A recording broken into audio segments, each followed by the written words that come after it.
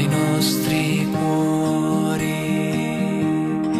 oh Signore, luna la pace.